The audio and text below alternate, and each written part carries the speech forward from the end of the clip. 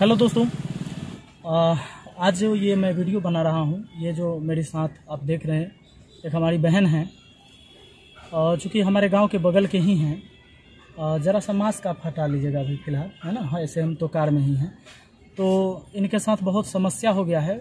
समस्या ये है कि हमारे पंचायत के ही हमारे गाँव के बगल के ही हैं। इनका बेटा का जो है एक एक्सीडेंट समझिए इसे।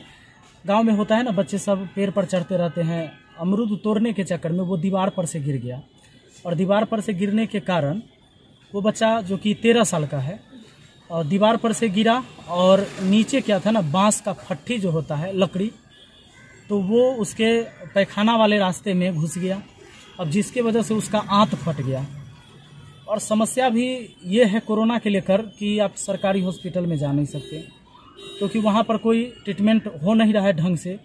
और सरकारी अस्पताल में ये भी है कि कोरोना के लेके बहुत डर फैला हुआ है जो लोग जाते हैं और सारे में ये भी है कि भाई कोरोना हो जाता है।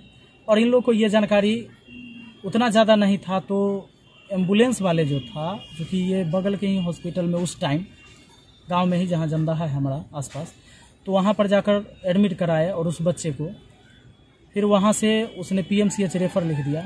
लेकिन एंबुलेंस वाले ने इन्हें, अब जो हो उसका, क्योंकि वो ला के सेम फोर्ड हॉस्पिटल है पटना वहाँ पर भर्ती करा दिया। वहाँ भर्ती कराने के कारण ये हुआ कि ये लोग बहुत गरीब हैं। क्योंकि हमारे ग्रामीण हैं तो मैं इन्हें जानता हूँ बहुत गरीब हैं। और चूँकि ये हॉस्पिटल थोड़ा महँगा है इलाज उनका चल रहा है और स्थिति ठीक है। अभी मैं बच्चे को देख कर आ रहा हूँ हालाँकि वो देखने के बाद रोने लगा और अभी तीन दिन से भर्ती है। धीरे धीरे मुझे पता चला। आ, आज मुझे कॉल गया इनके घर से तो मैं आकर वहाँ देखा और हम लोगों ने हेल्प करने का प्रयास किया हेल्प किया। और हम गाँव में घूम के भी कुछ चंदा किए। और क्या बताइए, कुछ चंदा उंदा किया गया था समाज की तरफ़ से? है ना? तो मैं ये चाहता हूँ कि अभी थोड़ा बहुत पैसा जमा हुआ और उतना में अभी इलाज होने वाला है नहीं। मुझे पता है कि मैं हर जगह जाके कि तो ये चीज़ें नहीं कर सकता। लेकिन इतना मैं कर सकता हूँ कि मैं जहाँ हूँ, वहाँ के लोगों के लिए कर सकता हूँ। और ये जब रोते हैं तो हमारा आत्मा रोता है। हम आप लोगों से हाथ जोड़कर विनती करते हैं कि जैसे आपने एक बार और हेल्प किया था, एक विद्यार्थी का जिसका पैर टूट गया था और दूर यहाँ से गाया जाकर मैंने हेल्प किया था। आप लोग ज़रूर इनका हेल्प करें। और मैं यहाँ पर पेटीएम नंबर और फ़ोन पे नंबर दे देता हूँ। आप लोगों से जो भी हो पाएगा डोनेट कीजिए। दस रुपया, बीस रुपया, पचास रुपया, सौ रुपया, जो भी हो, क्योंकि उस बच्चे को ज़िंदगी बचानी है और जहाँ हम हैं वहाँ तो हम कम से कम प्रयास कर सकते हैं। आप लोगों से मैं सिर्फ़ रिक्वेस्ट कर सकता हूँ कि आपसे जो हो सकेगा, आप ज़रूर करिएगा। और आगे भी मैं इसका अपडेट दूँगा कि क्या खर्च हुआ है और क्या हम, हमारे पास पैसा इकट्ठा हुआ। क्योंकि तो गाँव में आज कुछ पैसे इकट्ठा हुए थे, वो लगभग नौ हज़ार के आसपास इकट्ठा हुआ था, साढ़े आठ हज़ार के आसपास। और अभी भी वहाँ के बच्चे जो हैं, कुछ को मैंने छोड़ के आया है कि और सारे लोगों से मांगिए और इलाज करवाइए। तो प्लीज़, आप सब लोग सपोर्ट करिए इनका। और यही हमारी कामना है, चूँकि हम भी चाहते हैं कि समाज में जो भी ऐसे व्यक्ति हैं, जो नहीं कर पाते हैं खुद से, जिनके साथ मुश्किल होता है इस घड़ी में, ये टूट जाएँगे, इनका परिवार पूरा बिखर चुका है। इन्होंने कर्ज भी लिया है, जबकि इनके पास कोई ज़मीन उमीन भी नहीं है। कर्ज लिया है इलाज कराने के लिए, और ना तो कोई नेता, ना कोई मुखिया, कोई विधायक, कोई इनसे पूछने नहीं आया, जबकि ये वहाँ तक गए भी थे, इनके परिवार के लोग गए भी थे, लेकिन किसी ने कहीं से मदद नहीं किया। तो प्लीज़ आप लोग ज़रूर सपोर्ट करिएगा।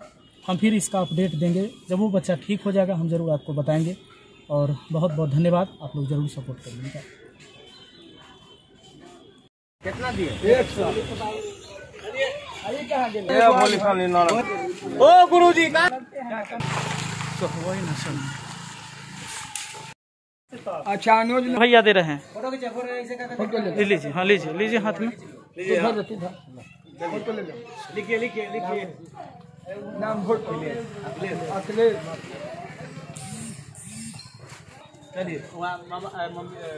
आशीर्वाद से बच्चा ठीक हो जाता है चल हाँ हाँ।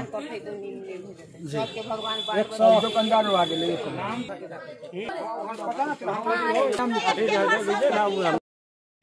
है दू सौ चार सौ जे सरस्वती पूजा वाला चंदा ना दिया हो?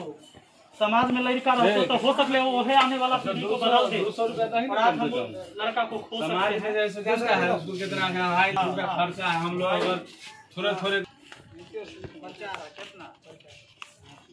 लिख दीजिए मुकेश तक हम लोग सहयोग कर लिए आगे भी सोचले कि समाज में जेकरा अपना जे दे देवे के गोलू भी ले रख ना तार हेलो। तार की ना के कहाँ? का तो रख ना तो पैसा ले कबै छी घर है ए, तो हो।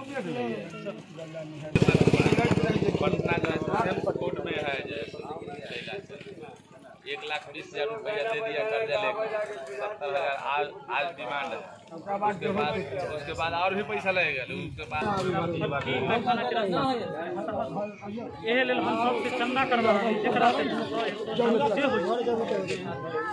सब दिलदार रहे छै सब दै छै घर पर ना। चाचा चाचा हॉस्पिटल जइयो घर पर घर पर अभी जा रहा है अच्छा दुकान है घर पर। भोजने है मंदिर के बगल में। एक घंटा में जाए के है हमें सहयोग कर जे है तोरा लग गरीब है तो गरीब के सेवा कर। देखला हो। तू कला हो उन्ने से तब उन्ने से। कहाँ गेलो चाचा ई तो सेल्स में रखना अपन सेल में आला दुकानदारों ने। चलिए धन्यवाद। नाम लिख दो राम भाई दो सौ दवाई दुकान। ये के सामने भी है दवाई।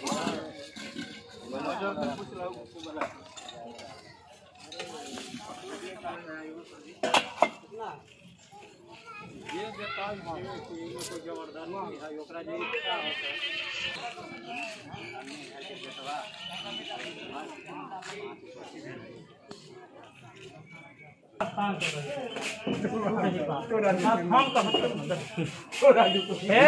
भगवान तक तथुन तो तू पाँच लाख कमेबे हेठा से कहूँ ना बोल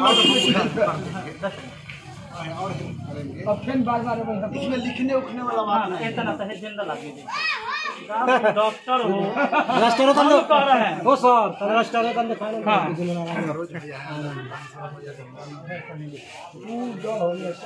अरे बहुत तरक्की करवा दो।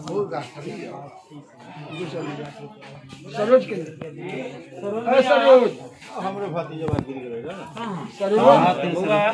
यहाँ ना पटना है। बोलवाई सुनिए दो मिनट काम है भैया। आप ही को लड़का गिरी गया कर भतीजा।